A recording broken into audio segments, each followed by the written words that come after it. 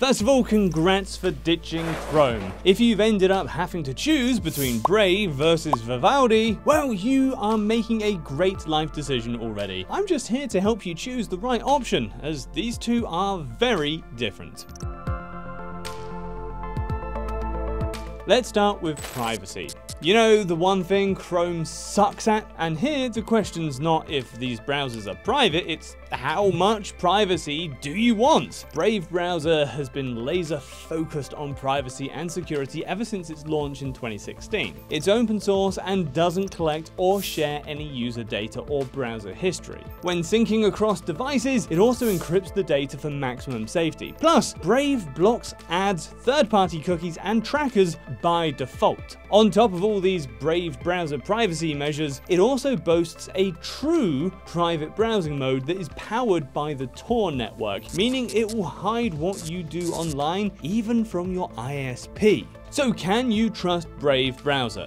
Well, I know I do. Now on to the other side of the scale. What is Vivaldi browser? And is it safe? Well, Vivaldi was born in 1679. What? Wait, um, oh, Yeah, might be a bit off the mark with that one. But the browser named after him was founded back in 2015. Their mission is to make the browser adapt to you and not the other way around. So privacy might not be the main goal, but they still do really well in this regard. The browser stores your browsing history on your device in an encrypted folder that only you can access. If you use the sync service, then Vivaldi does collect more data, but it's all encrypted as well. Since Vivaldi, just like Brave, Brave is based on Chromium, it's almost open source. Almost because their graphic user interface code is not open to the public, so Vivaldi is a tiny bit less transparent than Brave. To me, this doesn't really make a big difference, but it's still something worth noting. Overall, what you need to understand is that the privacy you get from Vivaldi is very customizable, and you can strengthen it further with some very solid add-ons. But I do have to admit that straight out of the box, Brave is more hardcore in the privacy area. Next up, let's compare Brave browser versus Vivaldi browser, in terms of ease of use at least and features. I already mentioned that both browsers are Chromium based, which means that the main layout, well, is pretty standard, you know? You can get these best browser picks on all the main operating systems, and I was able to get all my extensions on both browsers too. What I really liked in the Vivaldi browser is the sidebar though. I can manage my tabs from here, download updates, quick commands, and so on. Plus, this browser takes customization to another level. I can experiment with themes and choose the specific Vivaldi features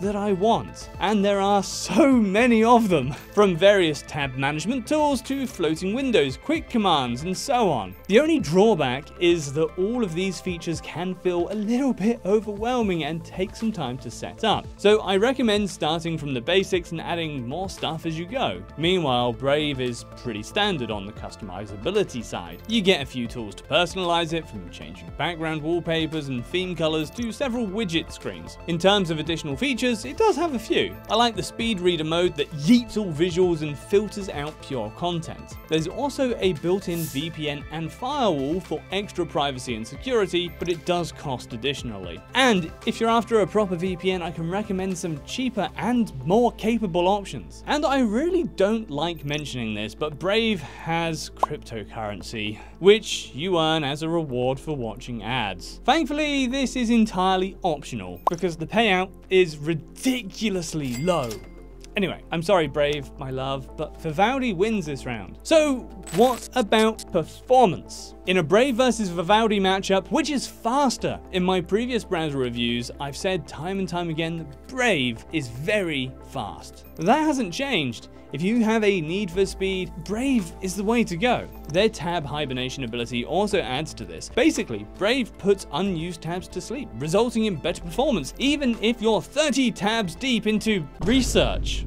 Now, is Vivaldi browser good in terms of performance? Well, in my experience, it's a bit slower than Brave. This likely comes down to the fact that it has more features, but while I was testing out, Vivaldi handled tons of tabs without any significant slowdowns, which is very impressive. Well, that wraps up all the main points in a Brave browser versus Vivaldi browser comparison. So now there's only one question left. Which is the best browser? As is often the case with these videos, the answer depends entirely on your needs. If you want a super private and secure choice, try Brave. If it's high customizability and features that you're after, I recommend trying Vivaldi first. And if you need fast performance, both will do a great job, even if Brave is a tiny bit faster.